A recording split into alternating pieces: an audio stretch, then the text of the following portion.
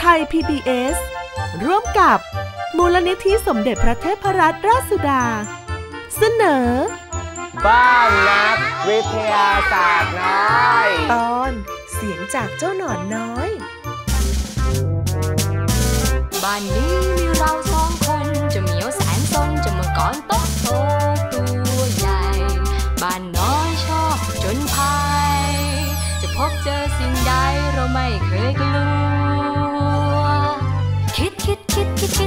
านนี้นักวิทย์ไม่ใช่ใครง่ายๆ เรื่องนั้นเรื่องนี้เกิดขึ้นได้อย่างไร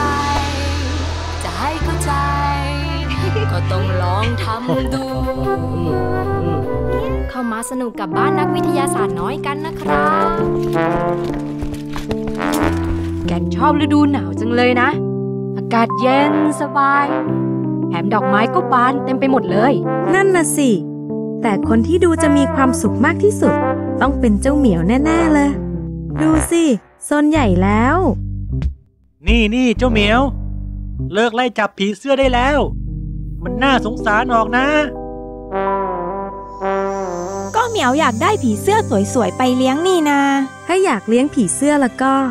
แก้วมีวิธีที่ดีกว่านี้อีกนะเจ้าเหมียวทำยังไงล่ะแก้ว เหมียวอยากเลี้ยงหลาย ๆ ตัวเลยนะ ได้เลย ถ้าอย่างนั้นเหมียวตามแก้วมานะ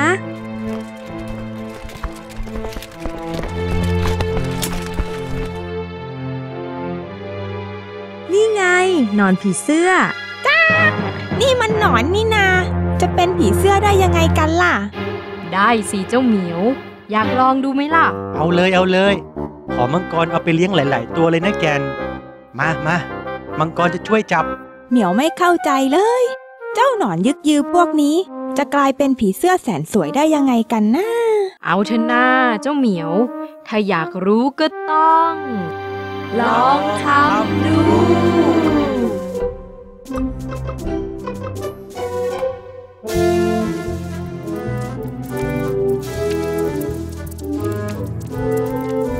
นเยอะๆ โตไวๆนะเจ้าหนอนน้อย กินเสียงดังมุมมามเหมือนมังกรเลยนะนั่นน่ะเสียงดังตรงไหน มังกรไม่เห็นได้ยินเลย เอาหูมาฟังใกล้ๆสิ ได้ยินไหมเจ้ามังกร จริงด้วยสิ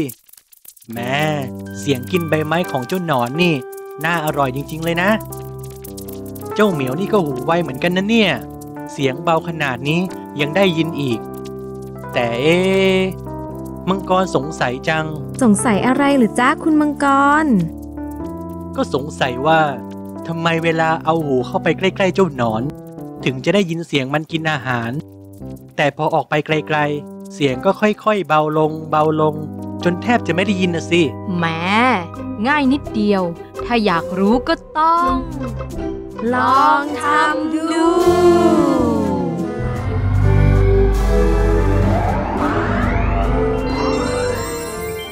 นักวิทยาศาสตร์น้อยของเราจะเคยสงสัยเหมือนคุณมังกรหรือเปล่านะ และถ้าอยากรู้ว่าทำไมเจ้าเหมียวถึงได้ยินเสียงหนอนน้อยกัดกินใบไม้ ก็ได้เวลาไปลองทำดูกันแล้วล่ะค่ะ เจ้าเหมียวเนี่ยได้ยินเสียงหนอนกัดกินใบไม้ด้วยล่ะครับน้องๆ แต่ว่าไม่มีใครได้ยินเลยล่ะครับ น้องๆ เคยเห็นหนอนหรือเปล่าครับเคยเคยเห็นหนอนกินใบไม้หรือเปล่าครับ ไม่เคยครับ คิดว่าหนอนกินใบไม้จะมีเสียงยังไงครับ แต่ว่าคุณมังกรนี่สิครับ เขาอยากได้ยินเสียงหนอนกัดกินใบไม้บ้าง เขาก็เลยเอาหูเนี่ยไปแนบเข้าไปใกล้ๆใกล้ๆใกล้ๆแล้วเขาก็ได้ยินครับ น้องๆ อยากรู้ไหมครับว่าคุณมังกรเนี่ยได้ยินได้เพราะอะไร อยากรู้ค่ะถ้าอยากรู้ต้องและพี่บอลก็มีอุปกรณ์มาให้น้องๆดูด้วยนะครับ น้องๆคิดว่าอันนี้คืออะไร น้องๆ ได้ยินเสียงนาฬิกาเดินอยู่หรือเปล่าครับ ไม่ค่ะ แล้วจะทำยังไงล่ะครับ ที่จะทำให้เราเนี่ยได้ยินเสียงนาฬิกา เอาไว้ใกล้ๆหูเพราะว่าเสียงกระเซาต้องต้องแนบหูต้องแนบหูจะได้ยินจริงๆหรือเปล่า อ่า เริ่มจากที่น้องพอชเลย ได้ยินไหมครับน้องพอชได้ยินยังไงครับเสียงน้องนานาครับ ได้ยินไหมครับ ได้ยิน ได้ยินเป็นเสียงยังไงครับ ติ๊กต๊อกมาที่น้องพิย่าบ้าง ได้ยินไหมครับ ได้ยินนะครับ ได้ยินเสียงยังไงครับ ติ๊กต๊อกเนเน่ครับ ได้ยินไหมครับ ได้ยินเสียงยังไงครับเนเน่ตึกตึกน้องเซน ได้ยินไหมครับ ได้ยิน ได้ยินยังไงครับ ติ๊กตอกติ๊กตอกถ้าเราเอามาไว้แบบนี้ที่เดิมล่ะน้องๆได้ยินไหมครับ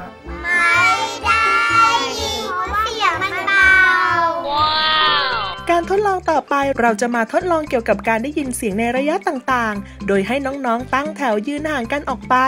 ถ้าน้องๆได้ยินเสียงให้ชูธงสีเขียว และถ้าน้องๆไม่ได้ยินเสียง หรือได้ยินไม่ชัดเจนให้ชูธงสีแดงค่ะเดี๋ยวมาดูกันนะครับว่าระยะใกล้กับระยะไกลเนี่ยน้องๆ จะได้ยินแตกต่างกันยังไงบ้างครับ อย่างแรกเลยนะครับพี่บอลจะให้น้องๆ เนี่ยใช้นี่เลยครับ นี่คืออะไรครับน้องๆ เป็นกระดาษแก้วนั่นเองนะครับเดี๋ยวพี่บอลจะให้น้องนานานะครับถือกระดาษแก้วไว้ก่อน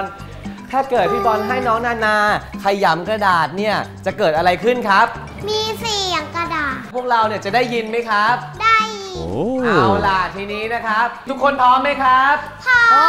มค่ะฟังดีๆนะครับหนึ่งสองสามขยำครับ ถ้าได้ยิน ชูธงสีเขียวนะครับ แต่ถ้าไม่ได้ยินชูธงสีแดงนะครับ ชูครับ น้องพอได้ยินเป็นยังไงบ้างครับ ชัดไหมครับ ชัดครับ อ่า น้องเซนนะครับ ได้ยินเป็นไงบ้างครับ เสียงกระดาษเมื่อสักครู่นี้ เสียงดังไหมครับ นิดหน่อยครับ น้องพีย่าล่ะครับ เสียงเป็นยังไงครับ กับกับกับกับกับกับน้องเนเน่ครับ ชัดไหมครับ แล้วถ้าเกิดว่าพวกเราเนี่ยอยู่ไกลกว่านี้ไกลเลยล่ะครับ น้องๆคิดว่าน้องๆจะได้ยินหรือเปล่าครับ ได้ยินนิดนึง อืมเอาละครับ เดี๋ยวพี่บอลจะลองใช้เสียงดูบ้างนะครับ แล้วมาดูกันว่าน้องๆที่อยู่ห่างออกไปเนี่ยจะได้ยินเป็นยังไงบ้างครับ พี่บอลจะพูดเป็นตัวเลขหนึ่งตัวเลขเท่านั้นนะครับน้องๆ แล้วจะถามว่าพี่บอลพูดเลขอะไรนะครับ พร้อมไหมครับพ่อครับโอเค เลข 4 ได้ยินชูธงเขียว ไม่ได้ยินชูธงแดงครับ พี่บอลพูดเลขอะไรทำมือมาเลยครับ พี่บอล พูดเลขอะไรครับ น้องพีย่าครับ พี่บอลพูดเลขอะไรครับอย่าบอกเพื่อนนะ โอเค น้องเซนนะครับ พี่บอลพูดเลขอะไรครับอ๋อได้ยินชัดไหมครับ ชัดครับชัดเลยใช่ไหมครับ คนสุดท้ายครับอยู่ไกลสุดเลยนะครับคนนี้ฮะ ได้ยินเป็นเลขอะไรห้ามพูดชุนนิ้วออกมา ได้ยินชัดไหมครับ เราอยู่ไกลสุดทำไมถึงได้ยินชัดอะครับ ก็ฟังพูดเสียงดังครับอ๋อ ทุกคนตอบพร้อมๆกันเลยว่าพี่บอลพูดเลขอะไรครับ เลขสี่สรุปว่าน้องๆได้ยินเสียงที่พี่บอลพูดว่าเลข4ถูกต้องทุกคนเลยค่ะ แล้วถ้าพี่บอลลองพูดให้เบาลงล่ะครับ มาดูกันซิว่าน้องๆเนี่ยจะยังได้ยินเหมือนเดิมหรือเปล่าครับ พี่บอลจะพูดเลข 2 มาถามทีละคนนะครับ น้องนานาครับชุนเอ่อเลขอะไรครับ มาที่น้องเนเน่บ้างอ๋อ โอเค น้องพิยะครับ พี่บอลพูดเลขอะไรครับเดี๋ยวลองดูซิอืมน้องเซนได้ยินพี่บอลไหมครับ เมื่อกี้ไม่ได้ยินเลยเหรอครับ คิดว่าพี่บอลพูดเลขอะไรครับ ได้ยินแว่วๆบ้างไหมไม่ได้ยินเลยเหรอครับ เลยเดาไม่ถูกนะครับ มา น้องพอสคนต่อไปคนสุดท้าย ได้ยินที่พี่บอลพูดไหมครับ เมื่อสักครู่นี้ ไม่ได้ยินเลยเหรอครับทำไมถึงไม่ได้ยินครับน้องพอสเสียงเบาเกินไปไกล กลกัน เอาละเฉลยนะครับ เมื่อสักครู่นี้พี่บอลพูดเลข 2 นั่นเองครับไหนใครตอบ2ตบมือหน่อย การทดลองในวันนี้ทำให้เราได้รู้ว่า ความดังของเสียงขึ้นอยู่กับระยะห่างของผู้ฟัง กับแหล่งที่มาของเสียงนั่นเองค่ะ ยิ่งอยู่ใกล้แหล่งกำเนิดเสียงเท่าไหร่ หูของเราก็จะได้ยินเสียงได้ดังมากขึ้นเท่านั้น ระดับความดังของเสียงนี้ทำให้เราทายได้ว่า แหล่งที่มาของเสียงนั้นอยู่ใกล้หรือไกลจากตัวเราเพียงใดเช่น เมื่อเริ่มได้ยินเสียงเครื่องบินบนฟ้าเบาๆ แสดงว่าเครื่องบินอยู่ในตำแหน่งไกล้จากตัวเรา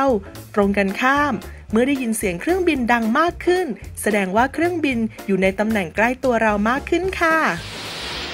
ถ้าน้องๆ ได้ทดลองทำเองที่บ้านหรือโรงเรียน อย่าลืมส่งภาพหรือคลิปวิดีโอมาอวดกันตามที่อยู่นี้นะครับ บ้านนักวิทยาศาสตร์น้อย มีรางวัลพิเศษมอบให้ด้วยครับ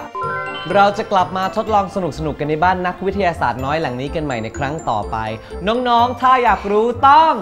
ลอง ก่อน สวัสดีครับ